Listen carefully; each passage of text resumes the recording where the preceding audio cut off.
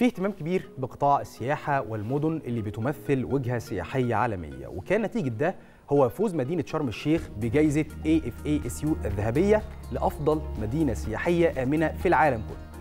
الجائزة دي هي مقدمة من الاتحاد الأفريقي الآسيوي للتنمية والسياحة والتكنولوجيا والتصويت.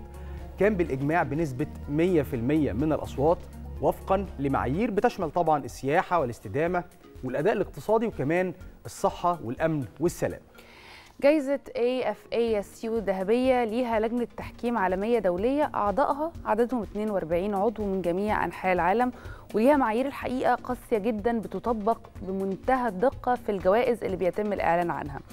وأعتقد أنه هذه الجايزة هي تتويج لجهود مختلف أجهزة الدولة بالتعاون مع محافظة جنوب سيناء على مدار الفترة اللي فاتت كلها.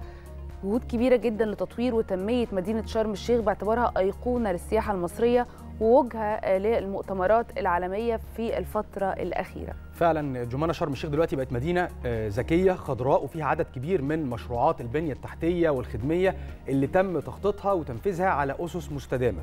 طبعا بتقدم تجربة سياحية مميزة جدا وآمنة وجنسيات كتيرة حول العالم متعودة إن هي تقضي أجازتها السنوية في شرم الشيخ خصوصا في الموسم الشتوي اللي بيكون فيه إقبال كبير من السياح.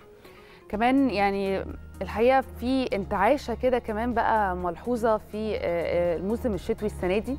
مش بس في شرم الشيخ الحقيقة يا شاذلي يعني أعتقد إنه في في كل المدن السياحية المصرية السياحة فعلا منتعشة بشكل كبير جدا. والفترة اللي جاية أعتقد إن إحنا هنشوف يعني خلينا نقول تحول بشكل كبير جدا في الزخم السياحي عندنا في مصر. مصر هيكون ليها دور تنموي كبير جدا حتى في قطاع السياحة. هنغير إلى حد ما هذا المفهوم لأنه مصر عندها اللي يمكن خلينا نقول الخصائص اللي عندها اللي ربنا حباها بيها مش موجودة في كل بلاد العالم. فبالتالي السياحة كمان في مصر هيكون ليها دور تنموي واقتصادي كبير جدا خاصة مع اهتمام الدولة بالمشروعات والمدن السياحية الجديدة.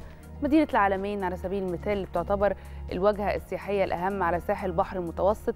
كمان لما ينتهي مشروع تنمية راس الحكمة ده لوحده هيجذب 8 مليون سائح يا شاذلي في السنة. عشان كده دايما بنتكلم إن إحنا عندنا تفاؤل فكرة التنمية تنمية السياحة في الفترة القادمة. والحكومة كمان مستمرة في خطتها اللي تم الإعلان عنها وهي زيادة الوفود السياحية ل 30 مليون سائح سنويا في 2028 وإحنا نقدر نعمل ده يا شاذلي. صحيح يا جمانه بكل تأكيد وإحنا شغالين على آه هذا الأمر عشان ده طبعا بيوفر آه عملة صعبة وكمان في نفس الوقت بيفتح مجالات عمل لناس كتيرة جدا بيساعد شباب كتيرة جدا في الشغل. وانتعاش قطاع السياحه بشكل عام. إحنا بلد يعني الحمد لله متنوعين في السياحة بتاعتنا. يعني مش مقتصرة فقط على السياحه في الشواطئ لا إحنا عندنا كل أنواع السياحة فاحنا مهتمين بكل السياحات الموجودة ان كل دولة من دول العالم ليها نوع بتفضله. في اللي بيفضل السياحة الشاطئية في اللي بيجي للسياحة العلاجية للثقافية